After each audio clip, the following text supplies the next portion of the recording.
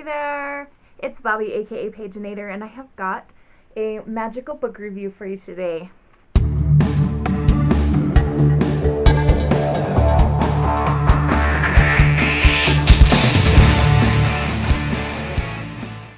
Recently, um, Pottermore, which is the online community, official online community for all things Harry Potter, released three uh, ebooks, collections of short stories and pieces written by Miss J.K. Rowling herself, and I read them today. I've been saying I'm, going to do this for quite a while now, and I think I've been delaying because I didn't want to be disappointed, and but how could I? It's J.K. Rowling, and you have to go into these ebooks knowing that they're bits and pieces of information, some about character, some about creatures, some about secrets, some um, some about just different facets of the wizarding world. And so, no, they're not going to be full fledged stories. They're going to be more like a biography bit of this character or this information that you may or may not have known about Moaning Myrtle or, you know, so on.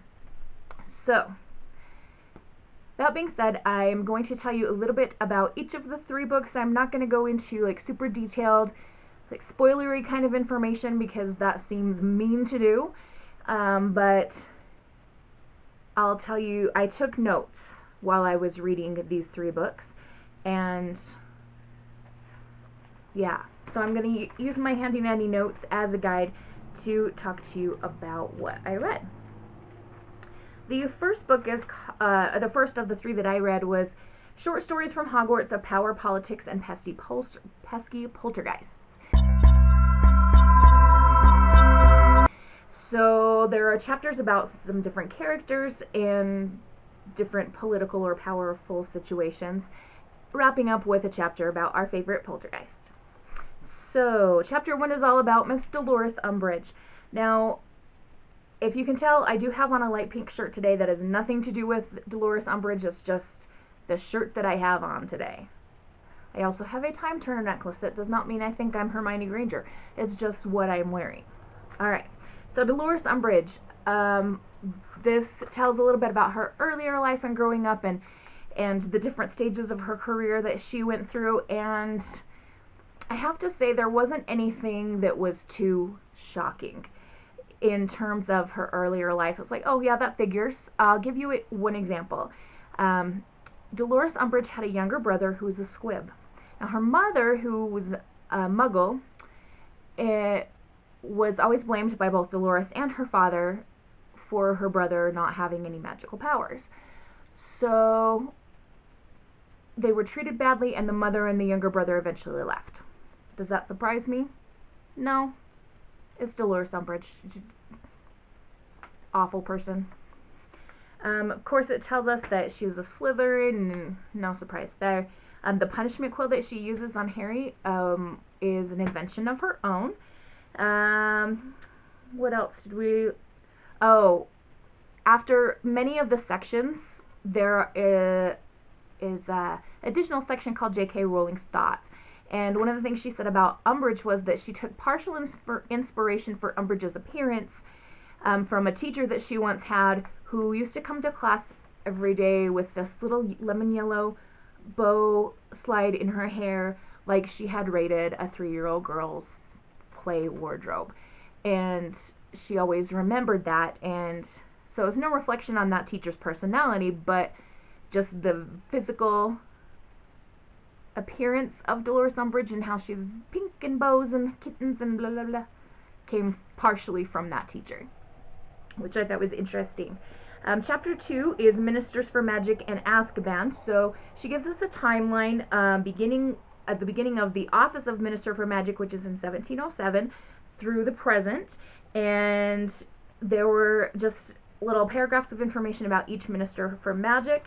One of them that I it made me smile was there was one whose last name was Diggory, and he was very loved and popular. Which of course makes me think of Cedric Diggory. How could it not? And the first female minister for magic was in 1798, and her name was Artemisia Lufkin. Interesting. During World War I, the Minister for Magic at that time forbade all the wizards and witches from joining in any of the war action. But of course, thousands of them went against him and aided the Muggles wherever they could, which I thought was just charming. Like, of course, they're going to help.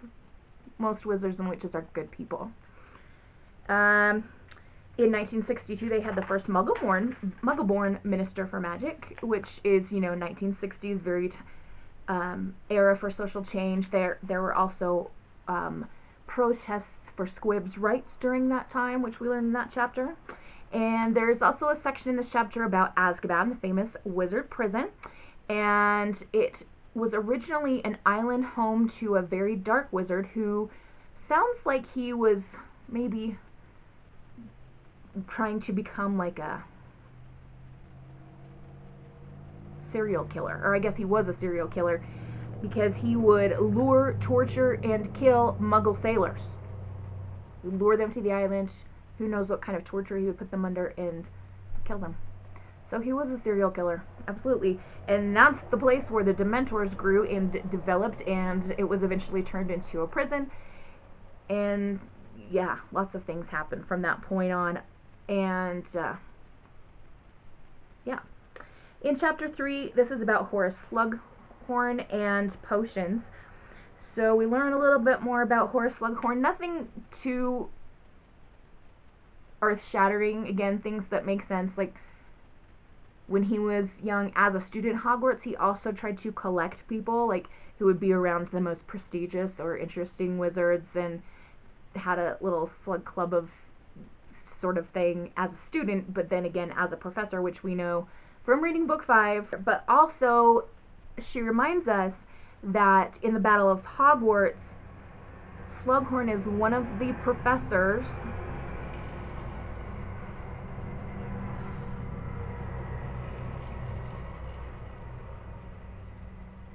Sorry, two giant cement trucks were driving past my house and they were quite noisy, so I was just taking a moment to be irritated with them. Um, but in the Battle of Hogwarts, Slughorn was one of the people that came leading um, rebellion to aid in the battle. And this window is really distracting. Pardon me while I close it for a minute. Sorry, that was annoying the crap out of me. okay, so again, Slughorn kind of redeemed himself from teaching Tom Riddle how to mix make Horcruxes and from being kind of just a not generally nice person to people unless he thought they were important enough. Um, by participating in the battle and, you know, kind of helped take away some of the sting of the name of Slytherin because he was a past Slytherin head of house and that kind of thing. I feel like I'm rambling and I'm sorry. Okay, potions. Um, J.K. Rowling said that she hated chemistry when she was a student, and so when she was trying to decide what subject Snape would teach, she thought, oh, what's the wizarding equivalent of chemistry? Potions but then she ended up quite liking the research and and developing potions and her writing and that kind of thing. So interesting. Um, polyjuice potion she took talked a little bit about as well as like choosing the ingredients, all of which suggested joining or duality of some kind. For example, lacewing fly. That lace suggests connection. Um, so if you know what polyjuice potion is used for, that makes a lot of sense. And there was a little section on cauldrons. Um, she just decided to keep them as a wizarding tool, even though the Muggle world doesn't use them anymore because they're handy and that's what they need to make potions. Okay, chapter four is about Cornelius Quirrell. Um, he was a Ravenclaw and, of course, a professor um, for Defense Against the Dark Arts in the book one, The Sorcerer's or Philosopher's Stone.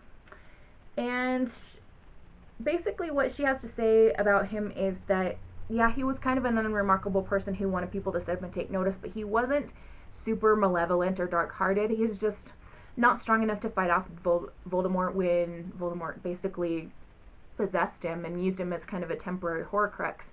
Um, so she kind of made it seem like had Voldemort not chosen him, he probably wouldn't have gone on to be like an evil person. He's just couldn't resist that much strength. Chapter 5 is about Peeves, and she told some interesting things about the history of Peeves and how in the 1800s one caretaker tried a series of explosive and, and different things to get rid of Peeves, and that kind of backfired, and Peeves caused some damage, as one might expect him to do. And so they ended up coming up with a contract for him and he gets certain rights, including a once weekly swim in the boys' toilet on the ground floor, and he got a new hat made by a special hat maker in Hogsmeade, and yeah, funny things. All right, so that wraps up the first of the ebooks. The second one is Hogwarts, an incomplete and unreliable guide. And so it kind of takes us through the steps. Chapter one is a journey to Hogwarts, and it talks a little bit about King's Cross Station and um, the and J.K. Rowling writes that there is actually a real trolley like stuck halfway through the wall in King's Cross Station if you go there today, and every time that she sees it, she just grins to herself, which I totally would if I were her. Like she created this whole oh, massive fandom thing that we're all like totally so happy to be a part of now. Um, platform nine and three quarters, she knew it had to be a fraction, and when the number nine and three quarters came to her, she just really liked that because she did, and it needed to be a fraction so that it could fit in between two existing platforms at King's Cross Station. And she says perhaps there are other fraction numbered platforms there as well. And yeah, I'm trying to not give too many details because I really want to tell you like, oh, she said this and this and this and but you can read the books for yourself. I'm I'm trying to give more general information. All right. Then we talk a little bit about the Hogwarts Express. Before the train, students arrived at Hogwarts in all kinds of weird ways on broomsticks, on magical creatures, and maybe even some thestrals, who knows. Um, they tried Portkeys for a while, but that turned out to be kind of a mess. So the Minister for Magic at the time said, let's use some muggle transportation. We'll get a train and if students don't want to try ride the train, they can't come to Hogwarts. So they have to deal with using Muggle transportation. Um, chapter 2 talks about the sorting, the, the hat itself, as well as hat stall, which is something that occurs when a person takes longer than five minutes to sort. McGonagall was a hat stall, and her cousin Flitwick was a hat stall. And there weren't very many. Hermione almost was a hat stall. She was about four minutes or so but wasn't up to the five minutes to officially be declared hat stall. Um, chapter 3, The Castle Grounds. Um, she describes the Hufflepuff Common Room, which is something we don't see in the books because Harry never goes there. We know it exists, but now we can have a better picture in our minds after reading that chapter. Um, the Marauders map, she talks a little bit about. Um, she says she kind of regrets letting Harry steal it back from um, the certain Defense Against the Dark Arts professor that took it away from him. Um, but later on, she was like, okay, I, I, I'm kind of glad I let him keep it because he got to walk, look and see where Ginny was in book seven, and yeah, blah blah blah. Stop saying details. I'm really sorry. I have to, to lecture myself. Um, okay, the Great Lake. She talked a little bit about that and how she loved it that there was this watery, magical part of the Hogwarts grounds that we didn't really get to explore until book four. Um, chapter 4 was Lessons at Hogwarts. She talked about the school subjects and some of her possible ideas. She was going to have um, alchemy being a required subject starting from year one, but then totally changed her mind there and some other things. And she did talk about um, time turners and said you must be careful what you invent because she ended up having to cause something to happen to all of the time turners in one of the books so that they would go away because time Travel is a dangerous thing to mess with.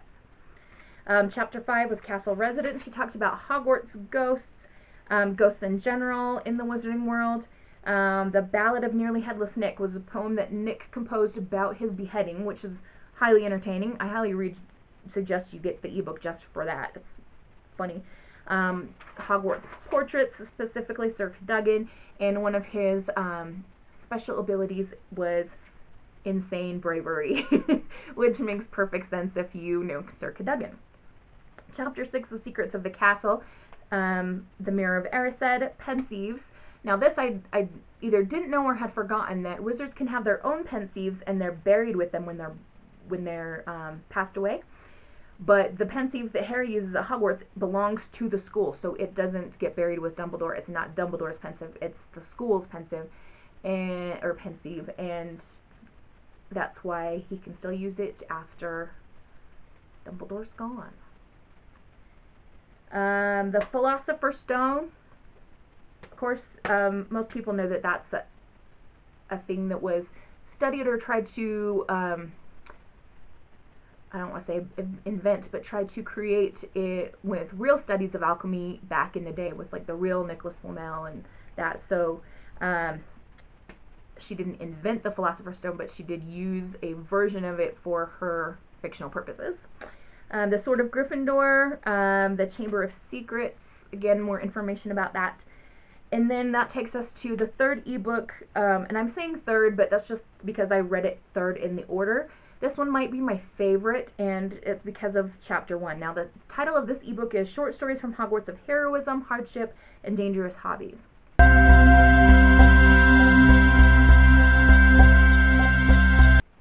Chapter one is all about Minerva McGonagall.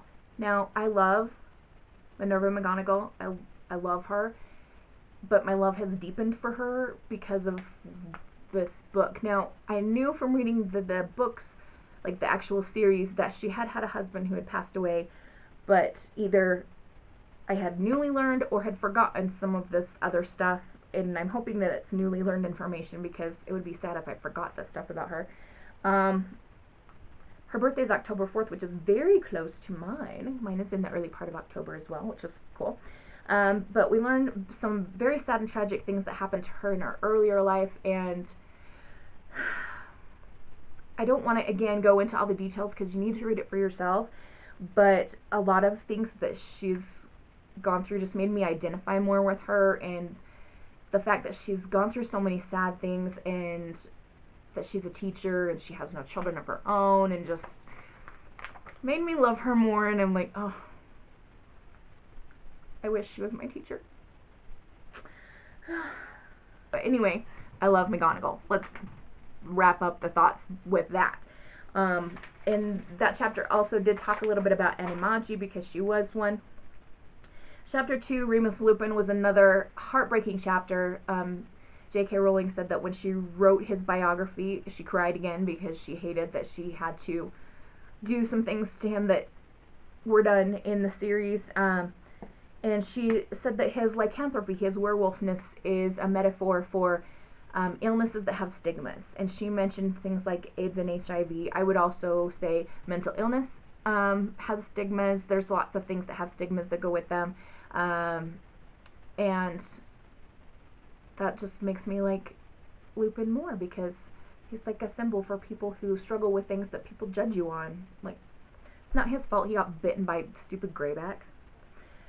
All right. Um, she also talked in that chapter specifically about werewolves, and in the wizarding world, only witches or wizards turn into werewolves because if a muggle was bitten by a werewolf, they'd just die. Um, chapter 3 is all about Sybil Trelawney. Have you seen the pop figure that's like came out in conjunction with Comic Con for Sybil Trelawney? You can look it up on Amazon and pre-order it. I want it so much because it's so stinking cute. She's just She's just like a delightful hippie. Just, yeah. Um, this chapter was about her, and one of the phrases which I will share with you says she's at least 90% fraud, which we all know because, yeah, she has like two good prophecies in her career. Um, she is very different from McGonagall, yet they're friends, so they're like the opposite of each other, but they have that bond because when Umbridge tried to kick Trelawney out, McGonagall wouldn't let her. And yeah. And she also talked about naming seers. In the wizarding world, it's kind of become out of fashion now, but some wizarding families take their child to a naming seer who will see their future and discover what they must be and then give them a name.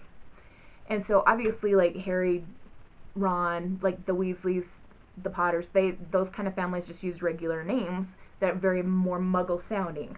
Um, but like Xenophilius Lovegood, maybe his parents took him to a naming seer because who names their child Xenophilius? Really? Um, chapter 4 is the last chapter, and it is Sylvanus Kettleberg, Kettleburn. Sorry, I'm not good with pronunciation today. Um, and he was the care of magical creatures teacher before Hagrid took over. And remember, he wanted to leave to spend quality time with his remaining limbs. I believe, if I remember correctly, he had an arm and part of a leg, or vice versa, um, left when he was done. And he was very much like Hagrid. Hagrid, I swear I know these characters backwards and front, but I can't say their names today. Hagrid. He was very much like Hagrid in that he greatly under underestimated what damage certain creatures could do. Um, and he retired to Hogsmeade, and in the Battle of Hogwarts, he did something so sweet. He couldn't get up and fight because, again, the limb thing, but he went up to his attic and threw all of his flobberworms at the Death Eaters as they were going by. Isn't that awesome? Okay, I feel like I've given away way too many details and I tried really hard not to and but there's still so much more to discover in these ebooks. To my knowledge, they are not going to be released as print books, so I did go ahead and just download them because if that's the only way to get them, that's the only way to get them. Um, they are a fun read, but again, don't go into it expecting a continuation of anyone's story. It's just information, almost like a nonfiction book, but we know it's fiction because it's in the wizarding world. Um, but they're super quick to read. I sat down and read them in a morning, and yeah, very fun, enjoyable information, and yeah. So definitely don't read them if you haven't read all the Harry Potter books because you will be spoiled for some things. But otherwise, you're good to go. So I'm going to go ahead and sign off now. I'm going to stop hitting myself with this wand because I've been doing that the entire video, sometimes out of frame, sometimes in frame. Anyway, so I'm going to let you go. Have a wonderful and bookish day. Happy reading. Adios.